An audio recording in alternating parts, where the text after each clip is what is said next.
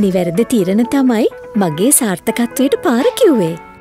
විෂන්කයා විශ්වාසනීය දැක්ම. අප්‍රේල් මාසේ පාසල් දරුවන්ට නියමිත නිවාඩු කාලය කඩනමින් ගන්න තීන්දු කරා. අප්‍රේල් නිවාඩු කාලය ආරම්භ වෙන්න තිබ්බේ අප්‍රේල් 6 වෙනිදා. නමුත් අපි තීරණය කරා අධ්‍යාපන අමාත්‍යාංශයේ විදියට එම නිවාඩු කාලය හෙට දිනෙන් ආරම්භන්න.